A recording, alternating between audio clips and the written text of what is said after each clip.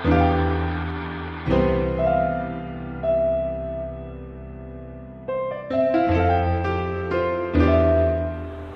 আলাইকুম, আমি মোহাম্মদ সোভান সহকারী অধ্যাপক, পদার্থবিজ্ঞান বিভাগ, মাইলস্টোন কলেজ। আমার প্রিয় ছাত্রছাত্রীরা, কেমন আছো তোমরা? আশা করছি করোনার এই বৈশ্বিক মহামারীতেও তোমরা ভালোই আছো। তোমাদের সকলের মঙ্গল এবং সুস্থতা কামনা করছি। করোনাকালীন সময় তোমরা বাসায় থাকবে এবং নিরাপদ দূরত্ব বজায় রাখবে এবং প্রচুর পরিমাণে সবুজ শাকসবজি এবং ভিটামিন সি যুক্ত ফলমূল খেতে হবে এবং স্বাস্থ্যবিধিগুলো মেনে চলতে হবে। আমি আজ তোমাদের জন্য পদার্থবিজ্ঞান প্রথম পত্রের মহাকর্ষ অভিকর্ষ অধ্যায়ের বহু নির্বাচনী নিয়ে কথা বলব। এই বহু নির্বাচনীগুলো আমি নিয়েছি বিভিন্ন বোর্ড পরীক্ষার প্রশ্ন থেকে এবং পাবলিক বিশ্ববিদ্যালয়ের প্রশ্ন থেকে। তোমরা যদি ভিডিওটা না টেনে পুরোপুরি দেখো তাহলে অবশ্যই তোমরা উপকৃত হবে। তো চলো কথা না বাড়িয়ে শুরু আজকের প্রথম উদ্দীপকটা দেখতে পাচ্ছি। এটা হচ্ছে একটা পৃথিবী আর পৃথিবী থেকে seven into ten to the power five meter দূরে রয়েছে একটি কৃত্রিম উপগ্রহ। তাহলে এটা হলো উচ্চতার মান। আর এই কৃত্রিম উপগ্রহ এখানে পৃথিবীটা পৃথিবীর ব্যাসার্ধ এবং ভর দেওয়া আছে। আমরা প্রথম প্রশ্নটা দেখছি কৃত্রিম উপগ্রহটির বেগ কত? তো আমরা কৃত্রিম উপগ্রহের বেগের সূত্রটা জানি V equal to root over G M by R plus H এখানে যদি আমি, এটা হলো এইচ এর মান, আর জি এর মানটা আমি লিখে রেখেছি, এটা একটা ধ্রুবক, এবং আর এবং এম এর মান বসালে আমরা অ্যান্সারটা পাবো seven five zero nine point four three metre per second আশা করছি আমরা এটা করতে পারব। দুই নম্বর প্রশ্নটা যদি আমরা দেখি, কৃত্রিম উপগ্রহটির পর্যায়কাল কত? আমরা পর্যায়কালের সূত্র জানি T equal to two pi root over R plus H whole cube divide by G M এখানে যদি আমরা মান বসাই, তাহলে আমি অ্যান্সারটা পাব five nine four zero point six one second এই সেকেন্ডকে যদি আমি ঘন্টায় নেই, তাহলে হবে five nine four zero point six one divided by three six zero zero এটা হয়ে গেল hour one point six five hour এই আওয়ারকে যদি আমি আরও ভাঙি, তাহলে হবে ওয়ান আওয়ার আর জিরো পয়েন্ট সিক্স ফাইভ এই মানটাকে যদি আমি ষাট দিয়ে গুণ করি, তাহলে হবে থার্টি নাইন মিনিট এই ছিল আমার অপশনে তাই আমি এইভাবে করে দেখালাম। আশা করি আমরা বুঝতে পেরেছি। কোনো বস্তুর মুক্তিবেগ কিসের উপর নির্ভর করে? বরিশাল বোর্ড পনেরো সালের প্রশ্ন। তো আমরা মুক্তিবেগের সূত্রটা যদি লিখি, আমরা দেখব V equal to root two G R আমরা এখানে জানি টু এবং জি, এই দুটো হচ্ছে ধ্রুবক। তাহলে মুক্তিবেগ নির্ভর করে পৃথিবীর ব্যাসার্ধের উপর। আশা করি আমরা বুঝতে পেরেছি। কৃত্রিম উপগ্রহের উচ্চতা ও আবর্তনকালের মধ্যে সম্পর্ক কোনটি? আমরা উচ্চতা এবং আবর্তনকালের একটা সূত্র জানি। H equal to G M T square divide by four pi square whole one third minus R ইহাই হচ্ছে সম্পর্ক। আমরা এই সূত্রটা মনে রাখব। মহাকাশে একজন নভোচারীর নিকট একটি সেকেন্ড দোলকের কম্পাঙ্ক কত হবে? মহাকাশে একজন নভোচারীর নিকট সেকেন্ড দোলকের কম্পাঙ্ক হবে শূন্য হার্জ কারণ সেকেন্ড দোলক সেখানে কোনো কম্পন দিবে না। আশা করি আমরা পাঁচ নম্বর প্রশ্নটাও বুঝতে পেরেছি। ছয় নং প্রশ্নটি হচ্ছে, সবচেয়ে দুর্বল বল কোনটি? এটা যশোর বোর্ড পনেরো সালে এসেছে, আমরা জানি সবচেয়ে দুর্বল বল হচ্ছে মহাকর্ষ বল। খুবই ইম্পর্টেন্ট প্রশ্ন, আমরা এটা মুখস্থ করব। জ্ঞানমূলক। সাত নং প্রশ্ন, কত ডিগ্রি অক্ষাংশে জি এর মান সবচেয়ে বেশি? এটা হচ্ছে নব্বই ডিগ্রি অক্ষাংশে। আট নং প্রশ্ন, মহাকর্ষীয় বিভবের একক কোনটি? আমরা জানি V equal to minus G M by R তো এখানে যদি আমি জি এর একক বসাই, newton metre square per K G square, আর আর এর একক হচ্ছে মিটার এবং বরের একক হচ্ছে কেজি। তাহলে আমি পাবো, মিটার মিটার কাটা যাবে, কেজি কেজি কাটা যাবে, newton metre per K G. এই নিউটন মিটারকে আমি আবার লিখতে পারি, জুল পার কেজি। আশা করি আমরা বুঝতে পেরেছি। এবার মুক্তভাবে পড়ন্ত কোনো বস্তুর এক সেকেন্ড, দুই সেকেন্ড ও তিন সেকেন্ডে অতিক্রান্ত দূরত্বের অনুপাত কত? আমরা জানি পড়ন্ত বস্তু সূত্র এইচ সমানুপাতিক টি স্কোয়ার তাহলে সময়ের উপর বর্গ। তাহলে যদি আমরা এককে বর্গ করি ওয়ান যদি আমরা দুইকে বর্গ করি ফোর এবং যদি আমরা তিনকে বর্গ করি, তাহলে আমরা পাবো নাইন এবং এটাই হচ্ছে কারেক্ট অ্যান্সার আশা করি আমরা বুঝতে পেরেছি। দশ নং প্রশ্ন, অভিকর্ষ স্তরণ জি বনাম গভীরতা এইচ লেখচিত্র কোনটি? আমরা জানি পৃথিবীর যত গভীরে আমরা যাব, তত জি এর মান কমতে থাকে।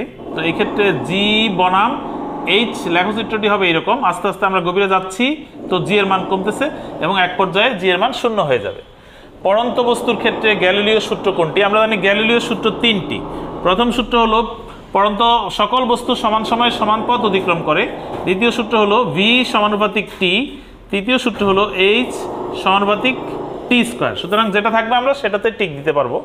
বারো নং প্রশ্ন, পৃথিবীর কোন স্থানের অভিকর্ষ স্তরণকে কোন স্থানের অভিকর্ষ স্তরণকে আদর্শ ধরা হয়? এটা উত্তর হলো ফর্টি ফাইভ ডিগ্রি অক্ষাংশে। আমরা এটা মুখস্থ রাখব, এটা একটা জ্ঞানমূলক। কোনটির পৃষ্ঠের মহাকর্ষীয় প্রাবল্য সবচেয়ে বেশি? অর্থাৎ কোন গ্রহের পৃষ্ঠের? এটা হলো বৃহস্পতি। আমরা এটাও মুখস্থ রাখব, এটাও জ্ঞানমূলক। পৃথিবী পৃষ্ঠ হতে এই উচ্চতা অভিকর্ষ স্তরণ কত? এই উচ্চতায় অর্থাৎ এখানে সূত্রটা জানতে চেয়েছে, তাহলে G H equal to R by R plus H whole square of G এটা হচ্ছে আমাদের অভিকর্ষ স্তরণের সূত্র, আমরা আশা করি বুঝতে পেরেছি। কোশ্চান কোন কণার বিনিময়ের ফলে মহাকর্ষ বল কার্যকর হয়? এটা হচ্ছে মহাকর্ষ বল, সুতরাং এটার উত্তর হচ্ছে গ্র্যাভিটন। কণাটার নাম হচ্ছে গ্র্যাভিটন। এটা জ্ঞানমূলক, আমরা মুখস্থ রাখব। পৃথিবীর ব্যাসার্ধ হ্রাস পেলে জি এর মান কি হয়? আমরা জানি G equal to G M by R square তো ব্যাসার্ধ যদি হ্রাস পায় ডেফিনেটলি জি এর মান বাড়বে। কারণ এরা পরস্পর ব্যস্তানুপাতিক। একটি সেকেন্ড দোলকের এক প্রান্ত থেকে অপর প্রান্তে যেতে কত সময় লাগে? এক সেকেন্ড। এক প্রান্ত থেকে অপর প্রান্তে যেতে এক সেকেন্ড, যেতে এক সেকেন্ড, আবার আসতে এক সেকেন্ড। তাই সেকেন্ড দোলকের দোলনকাল হচ্ছে দুই সেকেন্ড। সুতরাং যাওয়ার ক্ষেত্রে শুধুমাত্র এক সেকেন্ড সময় লাগে। একটি ভূস্থির উপগ্রহের আবর্তন কাল কত? আমরা জানি ভূস্থির উপগ্রহ পৃথিবীর সাথে সংশ্লিষ্ট। সুতরাং পৃথিবী চব্বিশ ঘন্টায় একবার ঘুরে আসে। সুতরাং আবর্তনকাল চব্বিশ ঘণ্টা, অথবা আমরা লিখতে পারি একদিন আশা করি আমরা বুঝতে পেরেছি। উনিশ নং প্রশ্ন, গ্রহগুলোর গতিপথ উপবৃত্তাকার, এই সূত্রটি কোন বিজ্ঞানী? এটা হচ্ছে বিজ্ঞানী ক্যাপলারের। তাহলে আমরা এখানে লিখলাম ক্যাপলার, এটা একটা জ্ঞানমূলক, আমরা এটা মুখস্থ করে ফেলব। এবার আসি মহাকর্ষীয় ধ্রুবকের একক কোনটি? আমরা জানি মহাকর্ষ সূত্র অনুসারে F equal to G M one M two by R square বা ডি স্কোয়ার এখান থেকে যদি আমরা জিটা বের করি, তাহলে হবে F R square by M one M two এবার এফ এর বলের একক হচ্ছে নিউটন, আর একক হচ্ছে মিটার স্কোয়ার আর ভরের একক হচ্ছে কেজি ইন্টু কেজি। এটাকে যদি আমি সাজিয়ে লিখি, তাহলে হয় newton metre square per K G square. আশা করি আমরা বুঝতে পেরেছি। একুশ নম্বর প্রশ্ন, মহাকর্ষীয় ক্ষেত্র প্রাবল্যের একক কোনটি? আমরা জানি প্রাবল্য ই সমান G M by R square তো এখানে জি এর একক newton metre square per K G square. আমি মাত্র বের করেছি উপরের প্রশ্নে।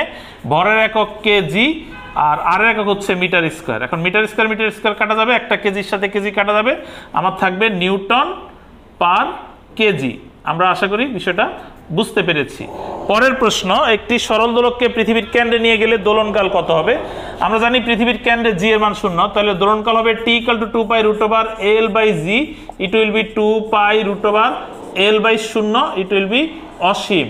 তাহলে দোলনকাল হবে অসীম আমরা আশা করি প্রশ্ন পৃথিবীর ঘনত্ব কত এটা আসছে খুলনা ইউনিভার্সিটি।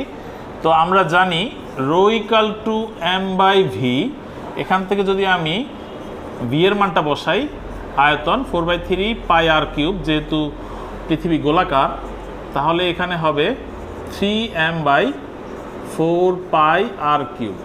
এখানে মান বসালে আমরা ঘনত্বের মানটা পাবো five four six four point one three eight K G per metre cube আশা করি আমরা অঙ্কটা বুঝতে পেরেছি। এবার আসি চব্বিশ নম্বর প্রশ্ন। পৃথিবীর ঘূর্ণন না থাকলে বস্তুর ওজন কি হতো? এটা হলো বৃদ্ধি পেত।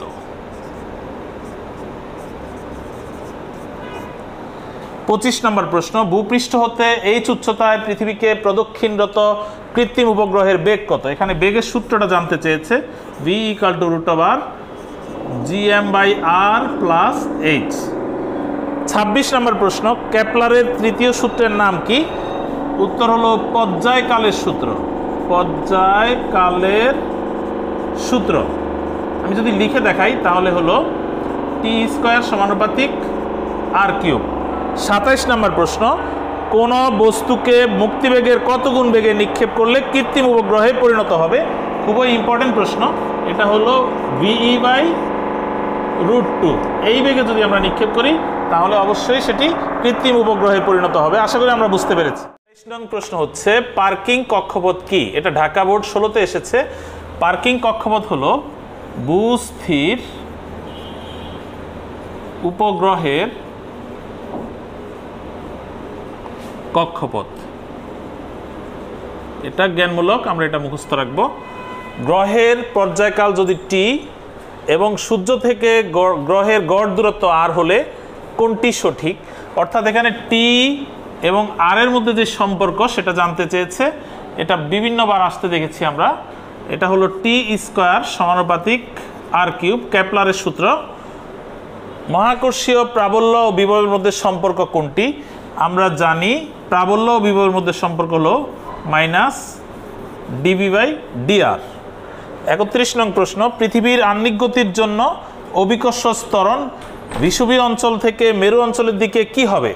উত্তর হলো বৃদ্ধি পাবে। আমরা জানি মেরু অঞ্চলে জি এর মান, অর্থাৎ অভিকর্ষ স্তরণের মান সবচেয়ে বেশি। সুতরাং মেরু থেকে যদি বিষুবী অঞ্চল বিষুবী থেকে যদি মেরু অঞ্চলের দিকে আনা হয়, তাহলে জি এর মানটা বাড়ে। পৃথিবী পৃষ্ঠে কোনো বস্তুর ভর ষাট কেজি। তাহলে কেন্দ্রে এর মান কত? আমরা জানি ভর হচ্ছে ধ্রুবক অর্থাৎ পৃষ্ঠে যা থাকবে কেন্দ্র তাই হবে। তাহলে উত্তর হচ্ছে ষাট কেজি। আশা করি আমরা বুঝতে পারি নং প্রশ্নটি হচ্ছে বিন্দু ভরের জন্য মহাকর্ষীয় বিভব কোনটি? এটা অ্যাকচুয়ালি বিভবের সূত্রটা জানতে চেয়েছে। আমরা জানি V equal to minus G M by R এটা চট্টগ্রাম ইউনিভার্সিটিতে এসেছে। চৌত্রিশ নং প্রশ্ন আর ও ফোর আর ব্যাসার্ধ বিশিষ্ট। বৃত্তাকার কক্ষপথে প্রদক্ষিণরত দুটি কৃত্রিম উপগ্রহের পর্যায়কালের অনুপাত কত হবে? আমরা জানি T one by T two equal to R one by R two whole three by two এখানে যদি আমরা আর ওয়ানের পরিবর্তে আর আর আর টু এর পরিবর্তে ফোর আর বসাই, তাহলে আমরা পাবো ওয়ান বাই এইট আর ওয়ান বাই এইট যদি পাই, তাহলে আমরা এটাকে লিখতে পারি ওয়ান ইস টু এইট এই হচ্ছে আমাদের অনুপাত আমি সংক্ষিপ্তভাবে দেখিয়েছি।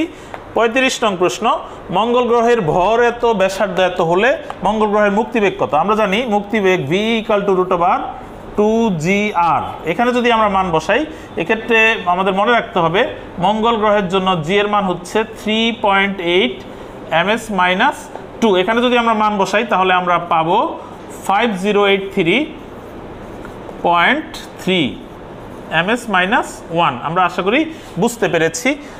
এত গভীরতায়, এখানে এই বিষয়টা আমাদের মাথায় রাখতে হবে, গভীরতার যে সূত্রটা, খনির তলদেশে অভিকর্ষ স্তরণের মান কত? এখানে ভূপৃষ্ঠের যে মানটা নাইন পয়েন্ট এইট আমরা জানি, এখানে তারা স্পেশালি দশ দিয়ে দিয়েছে। তাহলে আমরা গভীরতার সূত্রটা লিখব G D equal to one minus H by R into G এখানে যদি আমরা মান বসাই, আমরা five M S minus two আশা করি আমরা বুঝতে পেরেছি। সাঁত্রিশ নং প্রশ্নটি হচ্ছে, পৃথিবীর দুর্যোগ ব্যবস্থাপনা পর্যবেক্ষণের জন্য স্থাপিত কৃত্রিম উপগ্রহকে কি বলা হয়? তো এখানে যেহেতু পর্যবেক্ষণের জন্য আমরা এটা দিয়ে অ্যান্সারটা মনে রাখব, এটাকে বলা হয় পর্যবেক্ষক উপগ্রহ। এটা একটা জ্ঞানমূলক প্রশ্ন, আমরা মুখস্থ করব। আশা করি বুঝতে পেরেছি। আটত্রিশ নং প্রশ্ন, একজন ব্যক্তি লিফটে দাঁড়িয়ে জি তরণের নিচে নামায়, নিজেকে কি মনে হবে? আমরা জানি ডব্লিউ সমান এম জি কিন্তু যেহেতু এটা নিচের দিকে নামছে, তাহলে হবে জি মাইনাসে এই হলো আমাদের ওজনের সূত্র, নিচে নামার ক্ষেত্রে। কিন্তু এখানে আমাকে বলা হয়েছে জি ত্বরণে, তাহলে এই ত্বরণের মান হবে জি এটার মান যদি আমরা বসাই, তাহলে আসবে শূন্য। তাহলে ওজন যদি শূন্য হয়, তাহলে লোকটি ওজনহীন অনুভব করবে। আমরা আশা করি বুঝতে পেরেছি। উনচল্লিশ নং প্রশ্ন ভূপৃষ্ঠ হতে এক হাজার কিলোমিটার উঁচুতে অভিকর্ষ স্তরণের মান কত? আমরা উচ্চতার ক্ষেত্রে জানি G H equal to G of R by R plus H whole square এখানে যদি আমরা মানটা বসাই, তাহলে আমরা পাবো seven point three M S minus two আশা করি আমরা এটাও পারব। চল্লিশ নং প্রশ্ন, মহাকর্ষীয় ধ্রুবকের মাত্রা কোনটি? আমরা জানি F equal to G M one M two by D square এখান থেকে যদি আমি জিটা বের করি দেন হয় F D square by M one M two এখানে যদি আমি মাত্রা বসাই, বলের মাত্রা হলো M L T minus two আর ডি এর মাত্রা হলো এল যেহেতু স্কোয়ার আছে তাই আমি স্কোয়ার দিলাম। এম এর মাত্রা হচ্ছে এম আর একটা এম এর মাত্রাও এম এবার এখানে এই এম এম আমি কেটে দিলাম। কেটে দেওয়ার পর আমার যা থাকে আমি তা লিখব। প্রথমত হলো এম ইনভার্স এই নিচের এমটা উপরে উঠলে এম ইনভার্স আর এখানে এল আর এল স্কোয়ার মিল হবে এল কিউব আর আমার রয়েছে টি মাইনাস টু তাহলে টি মাইনাস টু আশা করি আমরা বিষয়টা বুঝতে পারি একচল্লিশ নং প্রশ্ন, নিচের কোনটি নিউটনের মহাকর্ষ সূত্র? আমরা এটা পারি, খুব সহজ সূত্র। Equal to G M one M two by D square বিয়াল্লিশ নং প্রশ্ন, পৃথিবীর ভর এম ব্যাসার্ধ আর হলে পৃথিবী পৃষ্ঠে জি বাই জি এর অনুপাত কত? বুয়েটের প্রশ্ন, আমরা জানি G equal to G M by R square এখান থেকে যদি আমি এই জিটাকে নিচে নিয়ে আসি, অর্থাৎ G by G equal to M by R square আশা করি আমরা সহজে এটা অ্যান্সার করতে পারব। ষাট কেজি ভরের একজন ব্যক্তি লিফটে অবস্থান করলে লিফটের উপর তার প্রতীয়মান ওজন কত হবে? আমরা জানি ওজন ডব্লিউ সমান এম জি এখানে যদি মান বসাই, আমরা পাবো ফাইভ এইট এইট নিউটন। এবার চলে আসি আজকের শেষ প্রশ্ন, পৃথিবীর ব্যাসার্ধ six point four into ten to six হলে পৃথিবীতে মুক্তিবেগের মান কত? আমরা জানি মুক্তিবেগের সূত্র হচ্ছে V equal to root over two G M divided by R এখানে যদি আমরা মান বসাই, তাহলে আমরা অ্যান্সারটা পাবো one one one eight five point six five metre per second. আশা করি আমরা বুঝতে পেরেছি। আজ এ পর্যন্তই। সকলকে ধন্যবাদ।